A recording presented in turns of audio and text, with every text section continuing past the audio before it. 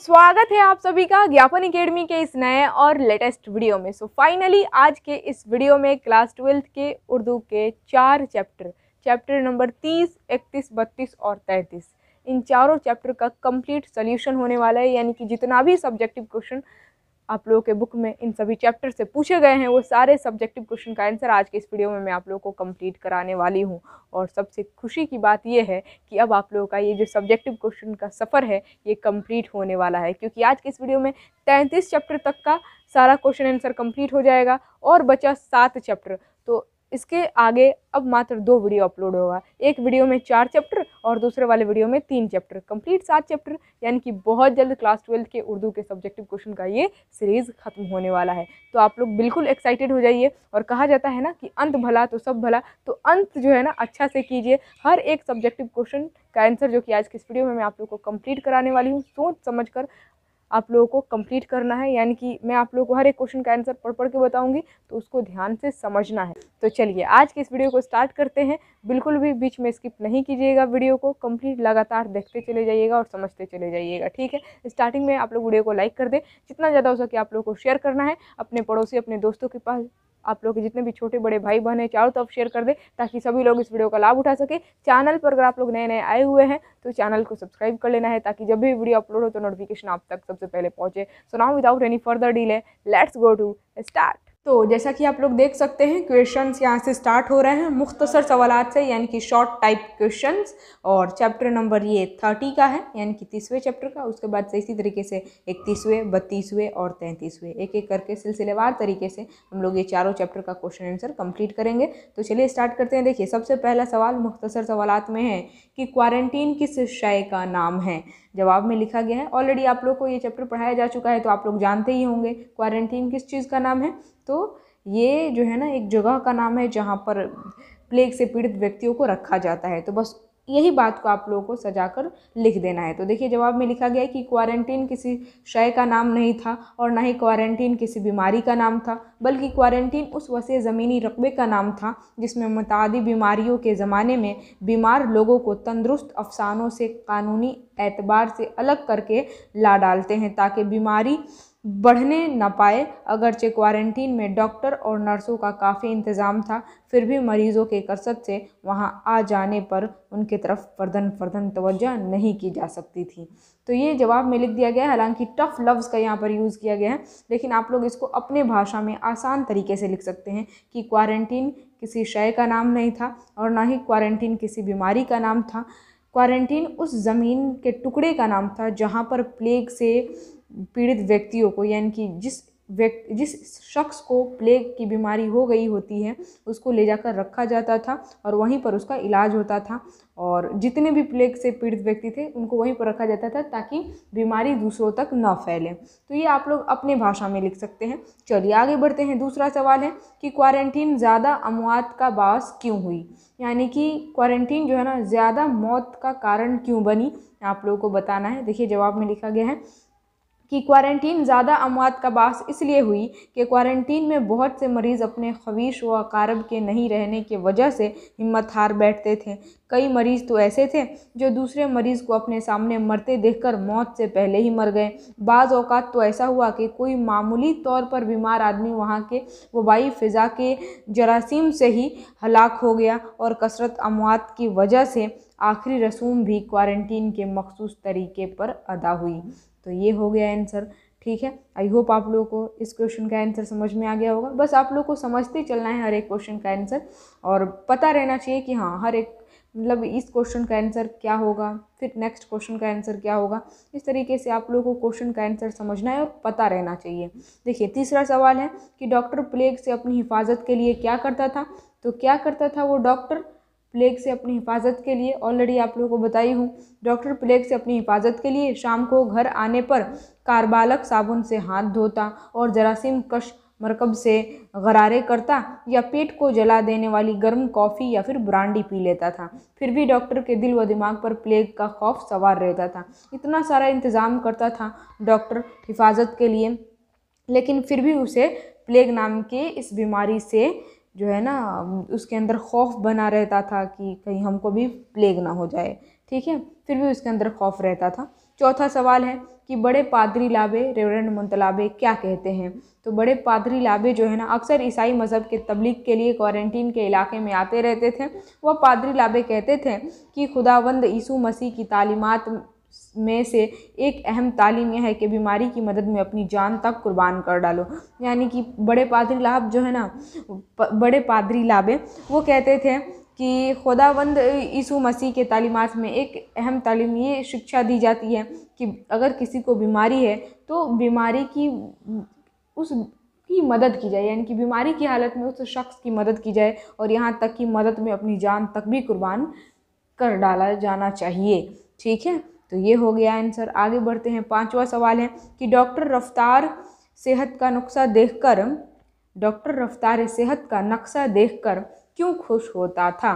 तो देखिए, जवाब में लिखा गया है कि वज़ीर बल्दियात ने एक अवामी प्रोग्राम में एक पतली सी छड़ी हाथ में ली और हाजरीन को मुखातिब करते हुए उनकी तवज्जो इस सयाह लकीर की तरफ़ दिलाई, जो दीवार पर आवेज़ा नक्शे में बीमार के दिनों में सेहत के दर्जे की तरफ़ हर लम्हा बढ़ती जा रही थी। आखिर में उन्होंने नक्शे में वह दिन भी दिखाया जब डॉक्टर के जेर निगरानी क्यों मरीज़ रखे गए और वह तमाम सेहत याब हो गए, इसलिए डॉक्टर सेहत का नक्शा देखकर खुश होता था। चलिए आगे बढ़ते हैं। अगला प्रश्न है कि ज़रूरत से ज़्यादा ब्रांडी पीने का डॉक्टर पर क्या असर हुआ? तो ज़रूरत से ज़्यादा ब्रांडी पीने का डॉक्टर की सेहत पर यह असर हुआ कि उसका दिल धक धक करने लगा नफ्स घोड़े की तरह दौड़ने लगी और डॉक्टर एक पागल की तरह इधर उधर भागने लगा। उससे यह भी शक होने लगा कि उस पर प्लेग की जरासीम का असर हो गया है और जल्द ही उसके गले और रानों में गिल्टियाँ नमदार होंगी और बहुत सा बहुत सरासीमा और खौफजदा हो गया था। कौन वो डॉक्टर? क्योंकि कुछ देर के लिए उसे ऐसा लगा कि नहीं, मैं भी, मुझको भी प्लेग नाम की बीमारी हो गई है। अब मेरा भी ख़त्म कहानी है। लेकिन फिर जब ब्रांडी का नशा उतरा, तब जाकर उसको एहसास हुआ कि नहीं नहीं, ये ज़्यादा ब्रांडी पी लेने की वजह से ये सारा वाक्य मेरे साथ पेश आया। Next question. अब यहाँ से सवाल स्टार्ट हो रहा है तवील, यानी कि लॉन्ग टाइप क्वेश्चन सबसे पहला सवाल है कि अफसाना क्वारंटीन का खुलासा कीजिए। अब यहाँ पर अफसाना क्वारंटीन जो कहानी क्वारंटीन है, उसका खुलासा करना है। इस कहानी, ये पूरी कहानी क्या है, आप लोगों को शॉर्टकट में बताना है। तो देखिए, जवाब में लिखा गया है कि जेर निसाब अफसाना, क्वारंटीन के अफसाना नगार, मशहूर अफसाना नगार राजेंद्र सिंह बेदी हैं और यह उर्दू के अच्छे अफसानों में शुमार किए जाते हैं। इस अफसाने में दो अहम किरदार, डॉक्टर और भागों में, भागो है, जो बराबर अपने जिम्मेदारियों की अदायगी के दौरान पूरे अफसाने में आमने सामने होते रहते हैं। डॉक्टर एक तालीम याफ्ता किरदार है, जबकि भागो एक जाहिल और नाखवानदा किरदार है। गिरचा भागों का काम गलाजत से भरा है और डॉक्टर जो है डॉक्टर के मुकाबले में बहुत ही कमतर किरदार हैं। इसके बावजूद भागो का किरदार कारीन को ज़्यादा मुतासर करता है। भागो जिस तरह अपने फ़र्ज़ की अदायगी में मशगूल रहता है, उससे डॉक्टर को भी अमली तहरीक मिलती है, जो किसी भी कारी पर अपना छाप छोड़ जाता है। भागो को इंसानों से मोहब्बत है, उसके दिल में इंसानों के लिए दर्द है, इसलिए प्लेग जैसा महलक मर्ज भी भागों को खौफजदा नहीं कर सकता। भागों की बीवी की मौत हो जाती है, फिर भी वह मरीज़ों की खिदमत से पीछे नहीं हटता और मज़ीद इनहमाक के साथ प्लेग को मिटाने में मसरूफ़ हो जाता है। भागो जब प्लेग के मरीज़ों के, की बेतक बेतकल्लुफ़ खिदमत करता है, भागो जब प्लेग के मरीज़ों की बेतकल्लुफ़ खिदमात करता है तो इस मरहले में डॉक्टर उससे पूछता है कि क्या उसे मरीज़ों के साथ रहकर काम करते हुए डर नहीं लगता। भागो जब भागो जो है ना, वो जवाब देता है कि आदमी को वक्त आने पर ही मौत आती है। इसलिए डरने की कोई बात नहीं है। मौत जिस दिन आनी है, आकर रहेगी। इस तरह भागो डॉक्टर को जवाब देकर कहानी को आगे बढ़ाता है। जिस तरह भागो, प्लेग के मरीज़ों के दरमियान बेतकल्लुफ़ आता जाता है, उस सूरत में उसकी मौत भी वाक़ हो सकती थी। लेकिन कहानी को जारी रखने के लिए भागो का आखिरी वक्त तक ज़िंदा रहना ज़रूरी है, इसलिए वह ज़िंदा रहता है। कहानी में इल्मिया की शक्ल में शक्ल इस वक्त सामने आती है जब भागो की बीवी की मौत हो जाती है। अब कहानी का रुख बदल जाता है और डॉक्टर प्लेग को मिटाने में शब रोज़ मसरूफ़ हो जाता है और आखिरकार शहर से प्लेग का ख़ात्मा हो जाता है। उसके बावजूद भागो हमारी तवज्जो का मरकज़ बना रहता है।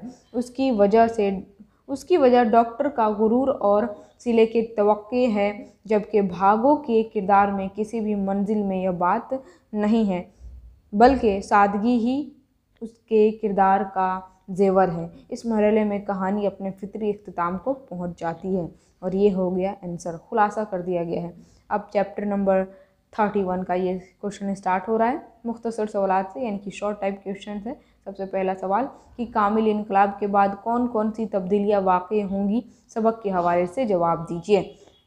तो जवाब में लिखा गया है कि कामिल इनकलाब के बारे में जय प्रकाश नारायण ने जिस तरह की ख्याल का इजहार किया है और उनका जो खुतबा कामिल इनकलाब के उनवान से हमारे निसाब में शामिल है, उसकी रोशनी में अगर इनकलाब कामयाबी की मंजिल को पहुँच जाती है तो उम्मीद के समाजी हैसियत में नुमाया तब्दीली आएगी। मुख्तलिफ़ किस किस्म की समाजी बुराइयाँ समाज से ख़त्म हो जाएँगी, जैसे छुआछूत जात पात और फ़िरका वारियत जैसी बुराइयाँ खुद ब खुद दूर हो जाएँगी। ठीक है तो ये हो गया आंसर। मतलब कि कामिल इनकलाब के बाद, संपूर्ण क्रांति के बाद ये सारे परिवर्तन देखने को मिलेंगे। सामाजिक छुआछूत जो है जात पात को लेकर भेदभाव, ये सब कुछ खत्म हो जाएँगी।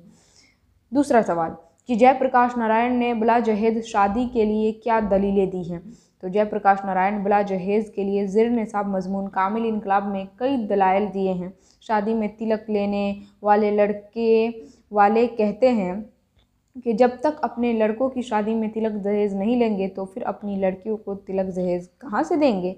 इस सिलसिले में जयप्रकाश नारायण लड़के और लड़कियों के वालिदेन से यह कहते हैं कि आपके लड़के और लड़कियाँ जानवर या घोड़े बैल नहीं हैं, कि उनका सौदा करके उन्हें फ़रोख्त कर दिया जाए, यानी कि बेच दिया जाए। तीसरा सवाल है कि अमन और जमहूरियत एक सिक्के के दो पहलू हैं। जयप्रकाश नारायण कैसे इस नतीजे तक ले जाते हैं? तो जवाब में लिखा गया है कि जयप्रकाश नारायण जब जमहूरियत में अमन की बात करते हैं तो कहते हैं, अवामी जदोजहद की हुकमत अमली का तकाजा यह है कि हम पर अमन रास्ते को अपनाएँ, हम पुरअमन रास्ते को अपनाएँ और इनकलाब की कामयाबी का इहसार अमन पर है। अगर आप तशद का रास्ता अपनाएँगे तो आपका मुकाबिल सौ तशद कर सकता है। इसलिए अमन वक्त का तकाजा है। अगर तशद के ज़ोर पर इंतखब होगा तो उसके नतीजे में कैसी जमहूरीत सामने आएगी। इसलिए बग़ैर अमन के साले और मज़बूत जमहूरियत कभी सामने नहीं आ सकती। खुलासा यह है कि अमन और जमहूरियत एक सिक्के के दो पहलू हैं। अमन के बगैर जमहूरियत का तस्वर मुमकिन नहीं है। अगला सवाल है कि जयप्रकाश पुरतशद इनकलाब पर पुरमन इनकलाब को क्यों तरजीह देते हैं? जवाब में देखिए लिखा गया है कि जयप्रकाश पुरतशद इनकलाब पर पुरमन इनकलाब को इसलिए तरजीह देते हैं कि आलमी तारीख के पुरतशद इनकलाब की तारीख गवाह है कि वह इनकलाब लंबे अरसे के जदोजहद के नतज थे। नए तर्ज पर अमल करने में काफ़ी अरसा गुजर गया और रफ्तार बहुत धीमी रही, पर धीमी रही। पुरमन इनकलाब में ढांचा की तब्दीली और नए तर्ज अमल साथ साथ चला करते हैं। इस तर्ज की यह खूबी है। इन तारीखी शवाहद की बुनियाद पर जयप्रकाश नारायण का नज़रिया है कि अगर हिंदुस्तान में खुद, खुदा न खास्ता पुरतशद इनकलाब आता है तो उसे काफ़ी अरसा लगेगा, लेकिन पुरमन इनकलाब फ़ौर लाया जा सकता है और वह तकरीबन आ चुका है। ठीक है तो यहाँ पर इस क्वेश्चन का सही आंसर हो गया। आगे बढ़ते हैं। अब तवील सवाल स्टार्ट हो रहा है। लॉन्ग टाइप क्वेश्चन में सबसे पहला सवाल है कि इनकलाब के साइंस का क्या उसूल है? जवाब में देखिए लिखा गया है कि इनकलाब की साइंस का बुनियादी उसूल यह है कि जब तक पूरा समाज इनकलाब के लिए जहनी तौर पर तैयार नहीं होता है तब तक किसी मुल्क के समाज में कोई इनकलाब बर्पा नहीं हो सकता। किसी भी समाज में जब नाइंसाफ़ी और तजादात का गलबा हो जाता है तो उसी की तरह से इनकलाब की ज़मीन तैयार होती है। जब समाजी मसाइल तकलीफ़ व हद तक पहुँच जाते हैं तो आवाम के अंदर बेचैनी पैदा होती है और वो बेचैनी नए इनकलाब को जन्म देती है। और जैसा कि कार्ल मार्क्स ने कहा था कि क्वांटिटी क्वालिटी में बदल जाती है। हालात में नुमाया तब्दीली की वजह से समाज में नए नए मसाइल पैदा होते रहते हैं। माशरती बदनवानी के ताल्लुक से आज हम इसी सूरत हाल से दो चार हो रहे हैं, जिसने हालात में नुमाया तब्दीली ला दी है और इनकलाबी तब्दीलियों के लिए ज़मीन तैयार हो चुकी है। यह तब्दीली आने वाली है, वरना आज का ये समाजी ढांचा टूट कर बिखर जाएगा। इनकलाब के साइंसी उसूलों के मुताबिक कोई भी इनकलाब, किसी भी इनकलाबी रहनुमा का मरहून मिन्नत नहीं होता है। यह ना लिनन ने ऐसा कहा है और ना गांधी जी ऐसा कर सकें। इनकलाब तो समाजी हालात और तारीख की कोख से उभरता है। इनकलाबी रहनुमाओं की खसूसियत यह होती है कि वह वक्त की रफ्तार और नुश्ता दीवार को पहचान लेता है। पूर्ण अमन इनकलाब के लिए हमारी कोशिश यह होनी चाहिए कि अपनी पूरी ताकत से अदम तशद की राह अपनाकर मसाइल के हल की कोशिश करें। हमें इसके लिए अपनी ज़िंदगियों की कुर्बानी देनी होगी और इससे बढ़कर ज़िंदगी की कोई मंजिल नहीं हो सकती। इनकलाबी फ़ौज के, ऋण के हैसियत इन इनकलाबियों की है जिन्होंने इनकलाब के लिए अपने आप को वक्फ कर दिया और यह काम आसान नहीं, सख्त एसार व कुर्बानी चाहता है। आज हमारे मुल्क हिंदुस्तान को इसी किस्म के इनकलाब की ज़रूरत है। ये हो गया आंसर। आगे बढ़ते हैं अगले क्वेश्चन की तरफ़। अब फिर से यहाँ से स्टार्ट हो रहा है चैप्टर नंबर थर्टी टू का क्वेश्चन सबसे पहला सवाल, मुख्तसर सवाल में कि क्या आपको इस बात से इतफ़ाक़ है कि शायर के तख्लीक जोश सॉरी तख्लीक मैं बोल रही हूँ तखलस रहेगा? क्या आपको इस बात से इतफ़ाक़ है कि शायर के तखलस जोश और उनकी शेरी मिजाज से कोई मुनासबत है? तो चलिए देखते हैं जवाब में लिखा गया है कि हाँ हमको इस बात से इतफ़ाक़ है कि शायर के तखलु जोश और उनकी शेरी मिजाज से बहुत हद तक मुनासबत है। मिसाल के तौर पर जोश के ज़र नसाब नज़म शिकस्त ज़िंदा का ख्वाब को ही लीजिए कि पूरी नज़म में जोश व जज्बा से भरी हुई है। यानी कि यहाँ पर शायर का जो तखलुस है जोश और उनका जो शेरी मिजाज है, उनमें मुनासबत है, यानी कि संबंध है, जिस तरह उनके ना, उनका तखलुस है जोश, उसी तरह उनका जो शायरी होता है ना, वो भी जोश और जज्बे से भरा हुआ होता है। इसी वजह से उनके तखलुस और उनके शेरी मिजाज में मुनासबत यानी कि संबंध पाया जाता है। इस नज़म में अंग्रेज़ों की ग़ुलामी और मुजाहिदीन आज़ादी की कैद बंद के ख़िलाफ़ एक इनकलाबी आवाज़ है, जिससे उनके जोशीले शेरी मिजाज का इजहार होता है। जोश खुद भी अपनी शायरी के बारे में फरमाते हैं कि मेरा नारा इनकलाब व इनकलाब व इनकलाब है। ठीक है? चलिए, आगे बढ़ते हैं। दूसरा प्रश्न है कि ज़िंदा पर ज़िंदा पर रेशा तारी होना, जंजीरों का टूटना, दीवारों के नीचे कैदियों का जमा होकर आज़ादी का परचम लहराने की तदबीरें करना, ये सारी बातें किस तहरीक का पता दे रही हैं? किस आंदोलन का पता बता रही हैं? तो चलिए देखते हैं। जवाब में लिखा गया है कि मजकूरा बाला शेरी असलाहत ज़िंदा पर रेशतारी होना, जंजीरों का टूटना, दीवारों के नीचे कैदियों का जमा जमा होकर आज़ादी का परचम लहराने की तदबीरें करना, ये सारी बातें तहरीक आज़ादी का पता देती हैं, यानी कि आज़ादी के आंदोलन का पता देती हैं। जब मुल्क में तहरीक आज़ादी अपने पूरे जोश व खरोश से चल रही थी तो जहाँ एक एक मुहब एक मुहब वतन आज़ादी के मतवाले कैदोबंद की सौबतें झेल रहे थे और अपने जानों की कुर्बानियाँ दे रहे थे। वहीं दूसरी तरफ़ शरा हजरात अपनी वतनी शायरी के ज़रिए आज़ादी के मतवाले के कुलूब को गरमा रहे थे। तहरीक आज़ादी की गर्मजोशी का यही मंजर शायर जोश मली आबादी ने जेर नसाब नज़म शिकस्त ज़िंदा का ख्वाब में पेश किया है।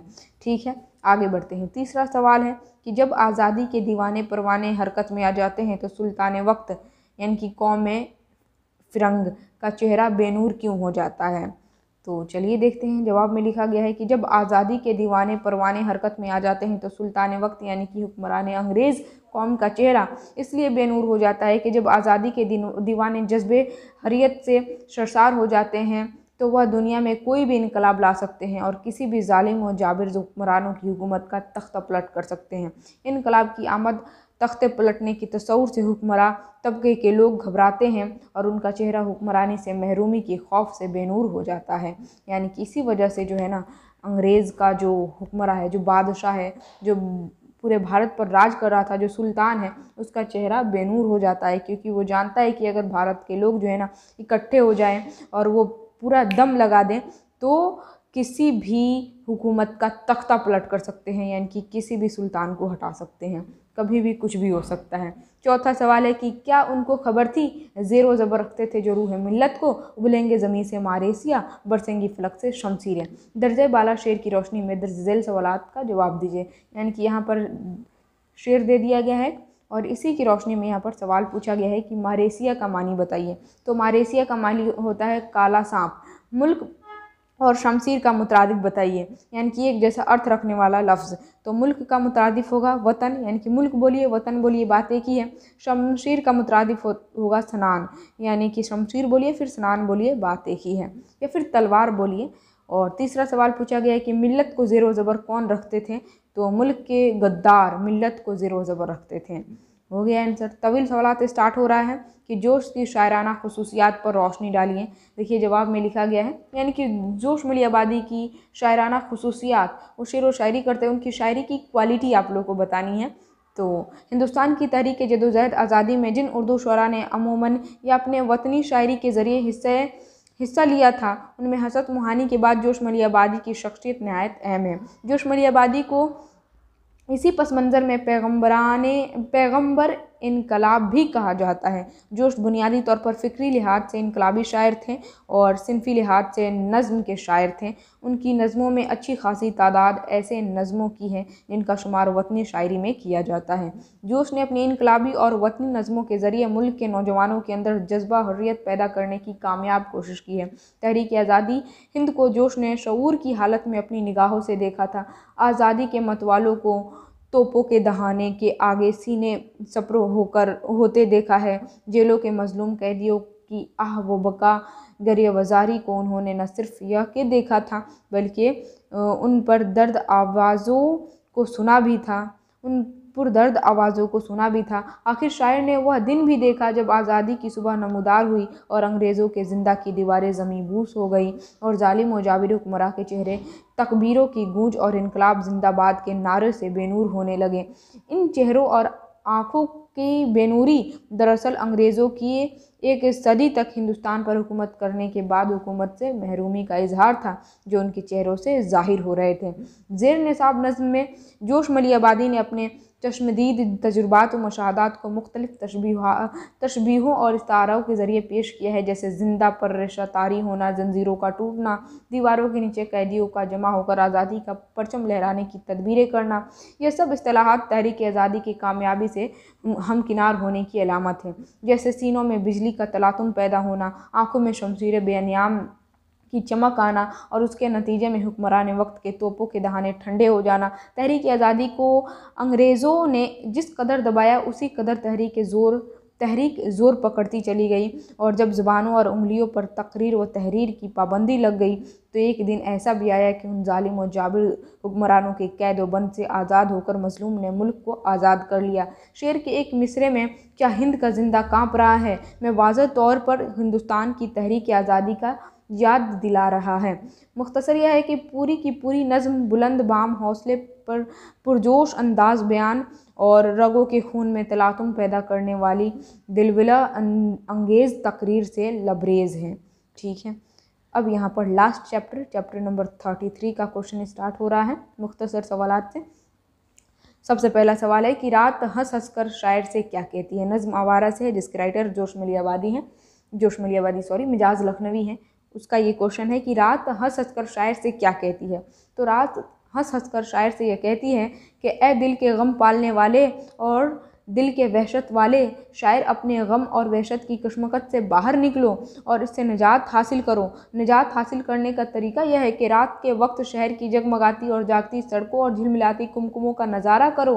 आसमान पर तारों का जाल और किसी टूटे हुए सितारों की फुलझड़ी गर्ज के शहर की रातों का हर नज़ारा शायर के जज्बात को मुश्ताल करता है और ख़ुद रात भी शायर को रसवाई वाले अमल करने का दावत देती है। यानी कि रात भी जो है ना, वो भी शायर को रसवाई वाले अमल, काम करने का दावत देती है। वो कहती है कि चल, किसी मैखाने में चलते हैं या फिर तेरे महबूब के काशियाने में चलते हैं। अगर वहाँ पर भी मुमकिन नहीं हो तो ए दोस्त, चल किसी वीराने में चलते हैं। ठीक है? दूसरा सवाल है कि इस नज़म में शायर का किरदार कैसा है?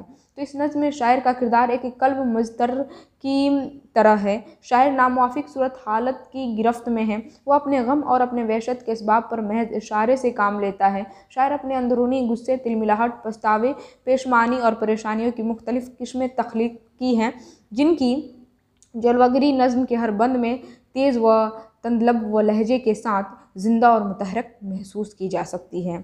तीसरा सवाल है कि एक महल की आड़ से निकला पीला महताब शायर ने यह बात क्यों कही है? तो जवाब में लिखा गया है कि शायर ने यह बात इसलिए कही है कि सूरत हाल की संगीनी और नामवाफिक हालात शायर को मजबूर करते हैं वह अपना अहद तोड़ने के ख्याल के साथ वह क्या कर सकता है या करेगा, उसके मुतालिक वह अपने इरादे का इजहार करता है। मुमकिन है कि वह मुमकिन है कि वह और उसका इरादा एक महल और उसकी आड़ से निकलने वाले पीले महताब की तरह हो और उसको अपना इरादा मुल्ला के मामा बनिए की किताब, मुफलिस की जवानी और बेवा की शबाब की तरफ़ फीका, बेजान, बेनसात और बेतौकीर नज़र आता हो। चौथा सवाल कि शायर किन चीज़ों को नोच लेना चाहता है। तो शायर मुर्दा चाँद तारों को नोच लेना चाहता है। वह चाँद तारों के तमाम किनारों को नोच लेना चाहता है। शायर नामुआफिक हालात के इस कदर शदीद गिरफ्त में है कि वह एक दो के ज़िक्र तक महदूद नहीं रखना चाहता, बल्कि सारी दुनिया के चाँद तारों और चमक दमक को नोच लेना चाहता है। यानी कि शायर बेचैन है, उसे समझ में नहीं आ रहा है वो क्या करे। ठीक है, चलिए आगे बढ़ते हैं। पांचवा सवाल है कि असर हाजिर के चंगेज़ के साथ वह क्या सलूक करना चाहता है? तो शायर मौजूदा दौर के चंगेज़ के हाथों से उसका हथियार छीन लेना चाहता है और उसका खंजर तोड़ देना चाहता है। उसके ताज पर जो चमकता हुआ पत्थर है, चमकता और दमकता हुआ पत्थर है, वह उसे भी तोड़ देना चाहता है। शायर कहता है कि इस जालिम व जाबिर चंगेज़ के खंजर को तोड़ने की हिम्मत अगर दूसरों में नहीं है तो मैं ही आगे बढ़कर इस खंजर को तोड़ देना चाहता हूँ। छठा सवाल कि शायर ने खुद को नाशाद व नाकाम क्यों कहा है? या फिर क्यों बताया है? अपने आप को नाशाद व नकारा क्यों कहे हैं? तो शायर ने अपने आप को नाशाद व नकारा इसलिए कहा है कि वह नामुआफिक हालात से घबराया हुआ है। इसलिए इस परेशानियों में वह अपने गम दिल अपने गमे दिल को, वहशत दिल को पुकारता है और कहता है कि शहर के रात की रंगीनी और इन रंगीनियों में नाशाद और नकारा बना हुआ हूँ, जिसका नतीजा है कि जगमगाती जागती सड़कों पर मैं आवारा फिर रहा हूँ। ठीक है? सातवां सवाल है कि शायर के दिल में गम और वहशत क्यों है? तो शायर के दिल में गम और वहशत इसलिए है कि वह नामुआफिक हालात के थपेड़ों का शिकार है। वह जिस कश्मकश में मुबतला है, उससे निजात हासिल कर लेना चाहता है। रात की जगमगाती, जागती सड़कें झील मिलाते, कुमकुम आसमान पर तालों, तारों का जाल और किसे टूटे हुए तारों की फुलझड़ी गर्ज के शहर की रात का हर मजहर शायर को मशताल कर देता है। यही वजह है कि शायर के दिल में गम और वहशत पैदा हो गया है। नेक्स्ट क्वेश्चन कि रात के वक्त शहर के क्या क्या मंजर होते हैं?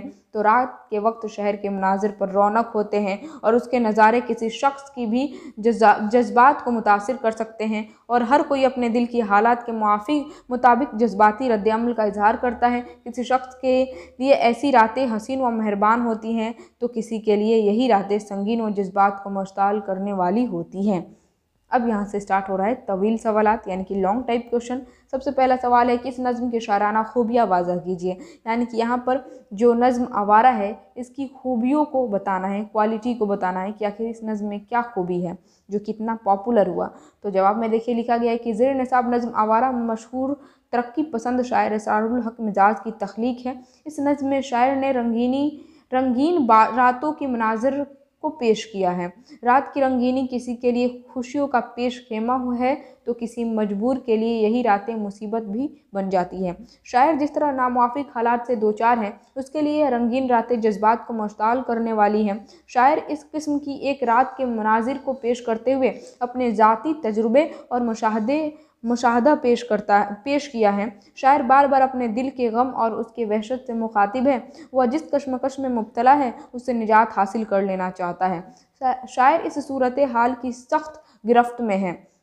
वह अपने गम और अपनी वहशत के इसबाब पर महज इशारे करता है। अपने अंदरूनी गुस्से तिलमिलाहट पछतावे पेशमानी और अन, अनहोना क्यों के मुताबिक शक्लें ही उसने तख्लीक की हैं। यहाँ पर थोड़ा सा मिस्टेक हो गया है। चलिए आगे बढ़ते हैं। जिनकी जलवागिरी नज़म के हर बंद में तेज़ व तंदलब व लहजे के साथ ज़िंदा और मुतहरक महसूस की जा सकती है। शायर जिसे रुकना और वापस होना पसंद नहीं और जिसने हर मुसीबत से वफा का अहद कर रखा है, उसके लिए रात की संगीन सूरत हाल और उसकी तरगीब मजबूर करती है कि वह अपना अहद तोड़ दे। मुमकिन है कि उसका इरादा एक महल और उसकी आड़ से निकलने वाले माह, पीले महताब की तरफ़ हो और उसको अपना एक इरादा मुल्ला के मामा बने की किताब मुफलिस की जवानी और बेवा के शबाब की तरफ़ फीका, बेजान बेबजात और बेतौकीर नज़र आता है। इरादे की, एक मिनट रुक जाए। इरादे की तस्वीर कशी में इबहम, इरादे की तस्वीर तस्वीर कसी में इबहम के बावजूद नज़म के अगले बंद से उसमें शक्लें वाजी हो जाती हैं। मुर्दा निज़ाम को मुकम्मल तौर पर ख़त्म करने और मुफलिसी और उसके मज़ाहिर के साथ ही जाबिर सुल्तान की क़्यादत ख़त्म करने की ताकत और इरादे के इजहार के साथ नज़म अपने अख्ताम को पहुँच जाती है और कारी के जहन पर दूर एक मिनट रुक जाए। कारी के जहन पर दूररस और देरपा असर डालती है। तो ये हो गया आंसर आई होप आप लोगों को समझ में आ गया होगा। चैप्टर नंबर तीस, इकतीस, बत्तीस और तैंतीस। ये तीनों चैप्टर का हम लोग क्वेश्चन आंसर कंप्लीट कर लिए।